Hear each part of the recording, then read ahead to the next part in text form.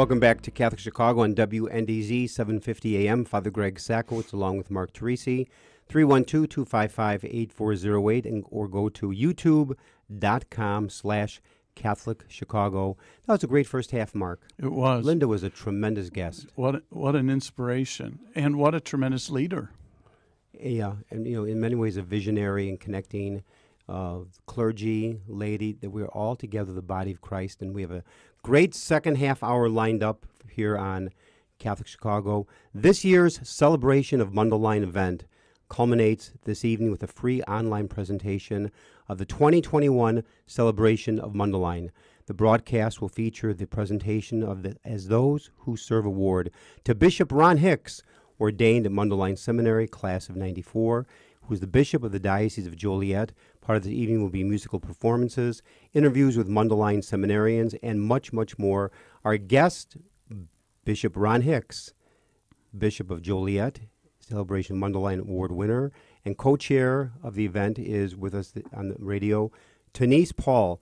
Bishop Ron Hicks and Tonise Paul, welcome to the program. Good morning.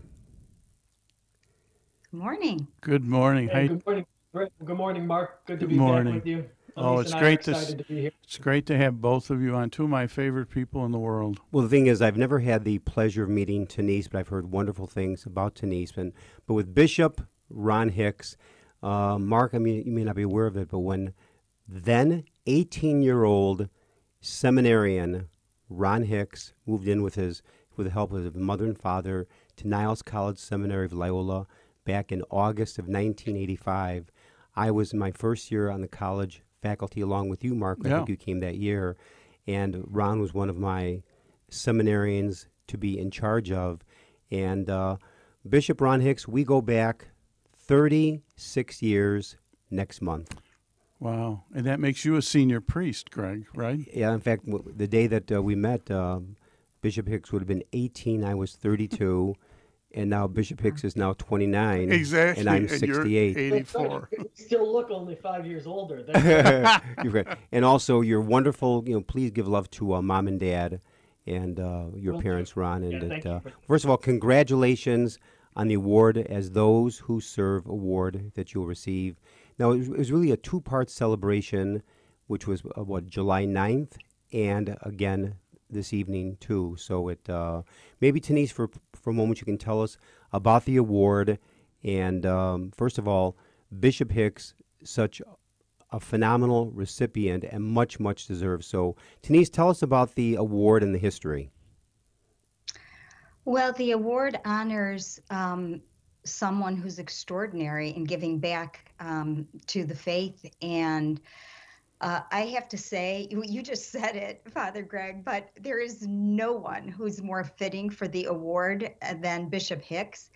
And I think, you know, this was structured as a two part event the live event and the um, virtual event tonight because of COVID. And we didn't know if everything would be opened up.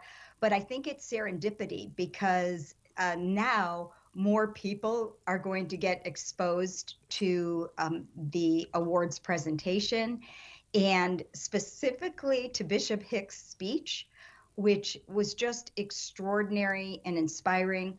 And the, the in addition to Bishop Hicks' speech, we'll also hear from um, Father Kartje, from um, Cardinal Cupich, and from a wonderful deacon out of Joliet, all of whom gave the most uplifting speeches, culminated by by Bishop Hicks' words. And um, so that's the so tonight I think will be very special. I'm excited to go back to the event again hmm Uh-huh. because it was just an extraordinary uh, afternoon, and it will be tonight a wonderful evening. Now, a question I have to ask you, Bishop uh, Hicks, and that is you entered the college seminary back in 85 as an 18 year old college freshman, but maybe tell us for a moment your story on when you first thought about priesthood and just give us part of that journey. Sure, thank you. It's um, it, has been a wonderful journey of faith and a wonderful journey of the Archdiocese of Chicago and the Church, just uh, supporting vocations and seminarians and priesthood. I um, I was encouraged by a parish priest at St. Jude the Apostle in South Holland, where I grew up, to uh, consider going to Quigley South as my high school back in uh, 19, 1981. And I went and uh, and, and I don't think I really at that point was thinking of priesthood, but I was supported and asked to consider the possibility and surrounded by people, priests, laity, teachers, fellow classmates who um, who who thought this idea of priesthood of considering it was was something good, something worthwhile to consider in your life. So I, I did, and then I took the next step and went on to Niles College. It's where I met you and where I met Mark Teresi. And uh, again, And you, and you Big, stayed in uh, spite of us. oh,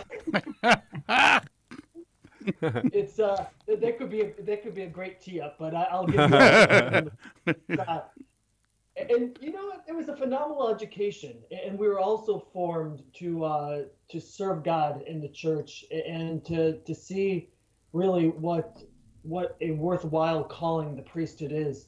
And so, because of Niles College, I heard God's voice saying, "Priesthood is what I'm calling you to."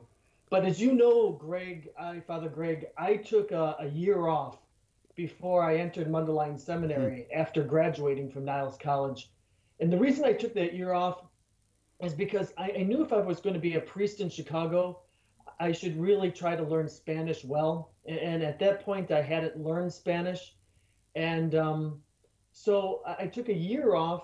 I went to a home for caring orphaned and abandoned children called Nuestros Pequeños Hermanos, our little brothers and sisters. I volunteered for a year, learned Spanish, but also saw faith in action. I, saw the Catholic Church at work with all, all the great things that we do in the name of the Lord and together at that mission in uh, in Mexico. So I came back, entered Mundelein Seminary, and, and from that moment, I knew God was calling me. You know, you have good days and you have bad days, but I I was excited to receive the formation, to be developed, and to take the next steps to ordination. So I was ordained in 1994. Beautiful. You know, we're going to just take a little break and continue. Uh, You know, maybe let- let's do this, um, Brian and uh, Javi. We're gonna take. We're gonna pass on break. We're gonna keep going here. oh, good. Good. Uh, question I have again for you, Bishop Hicks, and that is um, the orphanage in Mexico. Could we've talked many times. For you personally, that was a game life changer. Am I correct? Absolutely. It's um again, I, I was hearing that call to priesthood.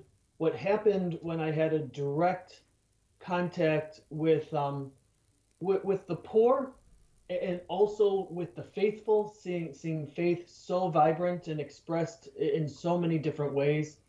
Um, I, I came back on fire not only for my vocation to priesthood, but also for the the necessity of us being church and the importance of our faith in our Lord and Savior Jesus Christ. Beautiful, beautiful. Tonise, as you heard, you, you gave people a little bit of a tease that on Bishop Hicks's talk tonight, but i i as you listen to him and you're up at the seminary and um, you're a layperson who's really dedicated tremendous energy to the mission there. Why? Why do you do that? Oh, well, I believe that our parish priests are, you know, it's funny, we're helping by supporting the seminary, helping to form the priests, but it's because the priests, our parish priests, are who form us. Hmm. So to me, it, I don't know, uh, you know, a better way to focus my faith than to help our parish priests. I don't I, think sometimes we take for granted Hmm. the journey they go on with us. And when I look at my life and the life of my children, and even my my new Catholic husband after 30 years of, of Hey, marriage, you know, I sit back and say, "Wow, yes, Mark Teresi, that happened. Yay. It happened, it happened because of our parish priests over time Wonderful, being good as gold wonderful. and That's you know, wonderful. helping our family move forward in faith. So I I just could not feel more strongly about that, and um, I, that's why I want more people not only to come out to the seminary. I don't. I actually don't care how pretty the seminary is, and it is gorgeous, Mhm. and we want to have people there. But I want people to meet the young seminarians because they are the future of our faith and they are amazing men. I am like blown away by by them. So, and I want to say one other thing. When I met Bishop Hicks, he was the head of formation. Right. So when we say Oh, at no one's Mundelein. Yes, Okay. exactly. so Bishop Hicks is the person who says, you know, here's who's at the center of our life God, Jesus. Here's why we're here for others. Um, and cr- also making sure that the knowledge of the faith is there. So I, I just think if we could just clone Bishop Hicks and put his DNA strands out into the Catholic community, there's hope. I'll second that. Uh, beautiful. Take us to break, Mark. Well, let's on that on that really enthusiastic um, and really true note. Um, WNDZ 750 AM Catholic Chicago on your dial 312-255-8408 or you can go to youtube.com slash Catholic Chicago. We'll be back with Bishop Hicks and with Tonise Paul to talk about that celebration of Mundelein Seminary. We'll be back in a few minutes. Please stay tuned.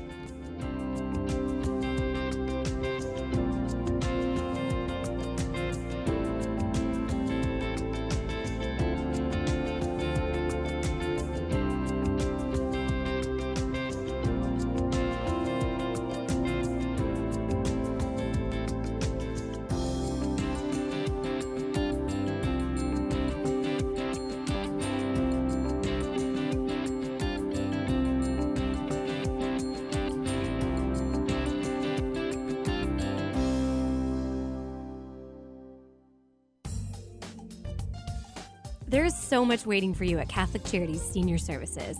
We offer programs and services to help make the most of every day. Friendships and fun are guaranteed at our drop in senior centers. Our adult daycare centers offer enjoyment and greater supervision to seniors who need it, while their caregivers get a break. Holy Family Villa provides a beautiful, safe environment for seniors looking for short or long term residential facility. And we offer assistance with senior benefits, care coordination, congregate and home delivered meals, hospital transition, and much more. For more than 100 years, we have accompanied seniors through every transition in their lives, and we are here for you now. Catholic Charities is a name and an agency you can trust. Call Senior Services today at 312 655 7700. That's 312 655 7700.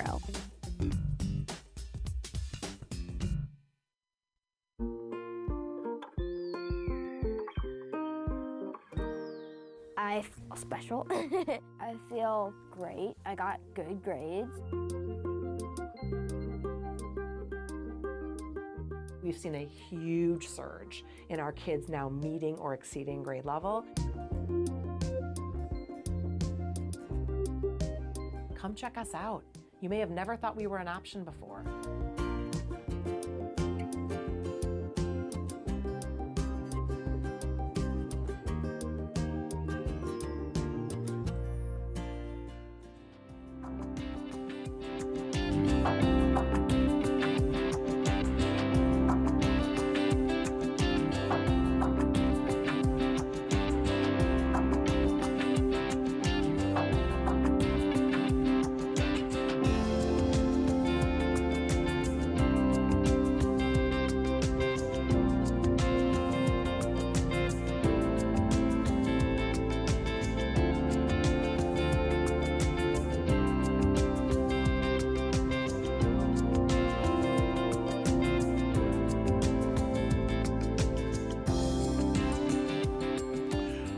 Back. Catholic Chicago, WNDZ, 750 AM on your dial, 312 255 8408. Or you can go to see us live on youtube.com slash Catholic Chicago. We're with Bishop Ron Hicks, the awardee of As Those Who Serve um, from Mundelein Seminary, and Tonise Paul, who's co chair of the event. And Father Greg, you had a question. Ron, a question that is uh, as a seminarian, you moved through the seminary system, ordained at Mundelein, class of 1994.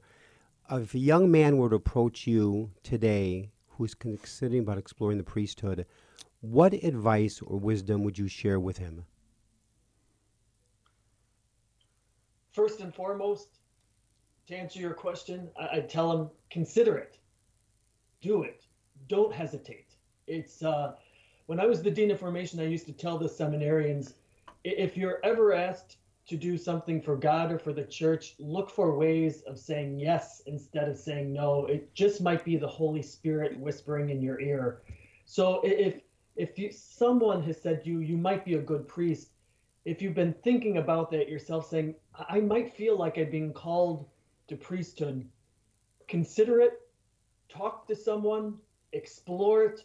There are so many different ways. To pray about it. And um, I'll tell you, for me, it's been the greatest gift of my life.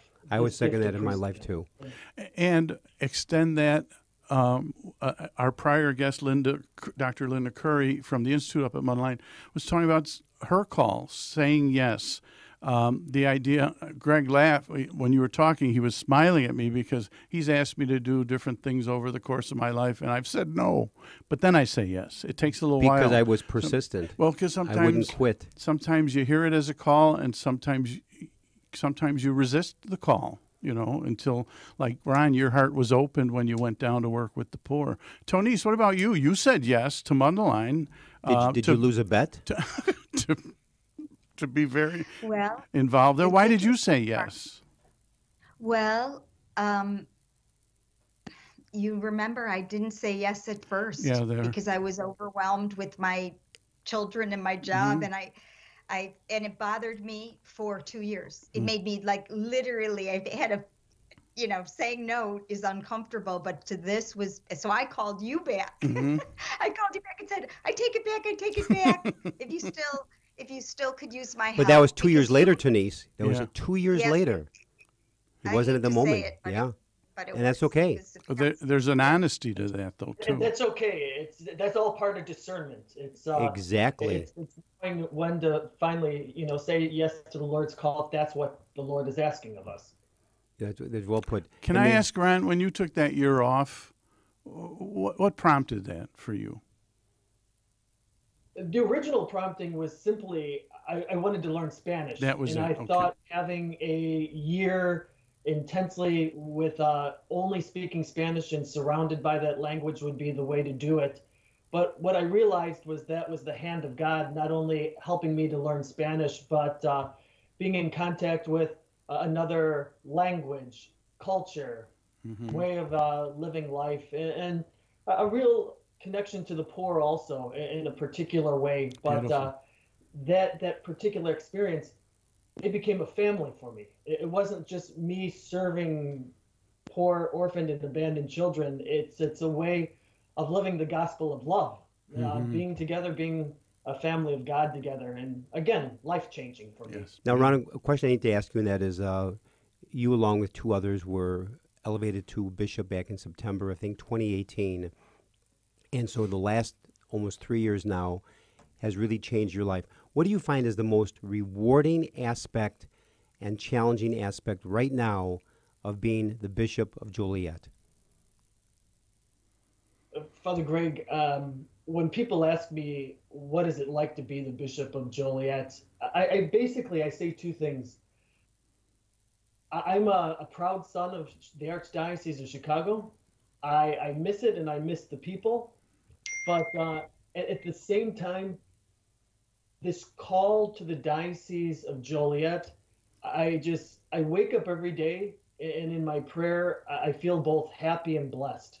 I feel very blessed to be called here. And, uh, and I'm really trying to put a, a vision forward that together with um, all the priests and clergy and religious and, and laity, that, that together we're focusing on good catechesis and evangelization, and from that, putting our faith into action. You know, all the ministries that we do as a church. So, um, and there, there's a there's a good sense of goodwill here and vibrancy, and uh, and again, I'll say it. I just feel very happy and blessed to be here. Well, Ron, you are deeply, deeply missed here in the Archdiocese of Chicago. but you've been a real gift to the people of Joliet because they love you there. And maybe for a moment, uh, Tonise, with the celebration this evening, tell us about it. How can people get involved? How can they contribute? Well, this evening there's a very special um, matching grant.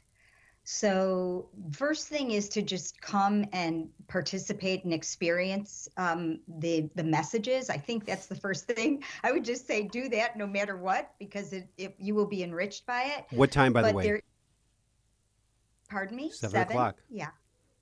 Mm-hmm.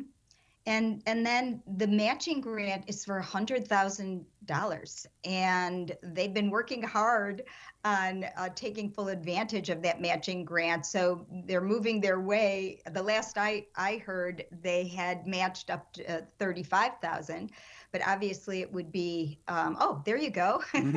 Race so far, thirty-seven. And you know we're just hoping to push north on that number because it's an incredible opportunity to get matched. So every dollar you contribute, you're actually contributing to. Now, what was the uh, exact? How do people exactly connect with tonight? Uh, uh, where do they go? They go to the usml.edu website, or is there a special uh, connect for them? A link? Well, well, the I website. can answer that. It's um, if they go if they go directly to www.usml.edu.celebrate, they'll they'll go right to the link that will connect them to the celebration tonight. Give that one more time, Bishop Hicks. Certainly, it's www.usml.edu slash celebrate. Now it's interesting, uh, I, and Bishop Ron, maybe you know a bit of the history. I remember talking to a priest years ago who went to Mundelein, was ordained for Chicago, opened the Tribune one morning on the front page. He became a priest of Joliet. That's how he didn't even know the, that there had been a, a, a, a shift in the, The diocese broke Jo- off. Yeah, how did Joliet? How did that happen? That Joliet became a diocese? Because weren't weren't your areas originally connected to the Archdiocese of Chicago? Correct. And as as this area, this part of the country began to grow with Catholics, like so many other parts of the country, you know, dioceses were then split and uh, made into their own diocese, so that it's um, so that they, they could locally kind of administrate and manage and be a diocese together. That happened in 1948. Okay. So uh, it, I'm actually the sixth bishop of the Diocese of Joliet. Six one. Here's a great story. Uh, Father Tom Maher, who was a resident for many years at St. Mary of the Woods, was ordained at Mundelein Seminary in 1947. As he was ordained, he was um, assigned the archdiocese. He had a brother, Father Art Maher, who I think was ordained in 49. When the diocese broke off between Chicago and Joliet, he had a choice between Joliet or Chicago. So Tom stayed in Chicago, and his brother Art, who just passed away in the last six months, stayed in Joliet, and a wonderful priest there. So it, uh, but I can't believe, uh, Bishop Hicks, you are the sixth bishop for Joliet. And then it's interesting because your role, so Bishop Hicks first was a student at Quigley South, then Niles, then Mundelein, then Ordain, then with the Arch, uh, then with the seminary. You were a formation director on at, on the board as a staff person. Now, are you on the board as Bishop of Joliet? I, continue to serve on the board, yes. That's And, um, interesting I'm to me. grateful. I'm grateful to continue to be on that board to, to one contribute, but also stay connected to uh, the Mundelein spirit and the Mundelein uh, community. And then maybe Tonise, as you look at the board at Mundelein, which is to me, my years there, it was a, it still is, but a wonderful, wonderful group of faithful folks who were tremendous, brought tremendous wisdom to the place. From a marketing standpoint, which is part of your expertise, how are we doing in that in terms of marketing? Not only the seminary, but the church. What what's working and what could we be doing? And you got a minute? you have about 30 seconds. You know what? I'll use our, our time to say, first of all, I think improving. And I think having um, leaders like Bishop Hicks and Cardinal Cupich is doing a fabulous job Um, Father Kartje is a voice to be heard, you know. So the more people we have like that who are open and um, given the opportunity to to tell the story, Mm-hmm. I think the stronger we're getting. So I do see progress there. I do want to say, Mark, because you put me on the spot, I want to thank you because you you're the person who introduced me into the the seminary family, and I could not be more grateful um, and uh, just touched by it because it's really impacted my life in a beautiful way. Well, we So, know, know we thank need you. to uh, end, but Mark, thank you for the gift of Tonise from What the a gift! Archdiocese. What a gift! and want to thank in a very special way Bishop Ron Hicks, the Bishop of Joliet, who is the recipient tonight of as those who serve award most deserving. Bishop Hicks is an outstanding, phenomenal priest for 27 years, both now the Archdiocese of Chicago and now the Diocese of Joliet. Also, to uh, thank you to Tonise Paul, who co-chairs the celebration of Mundelein for this evening. So Bishop Hicks and Tonise, thank you for joining us. It's been a great celebration of joy on this program. Thank you to Mark Teresi. Thank you Oh. to Javi Garcia, Brian Hockey Hitman Brock. Thanks for joining us to all of you. God bless. Have a wonderful day. God bless you. Thank you. Thank so you, much. everybody.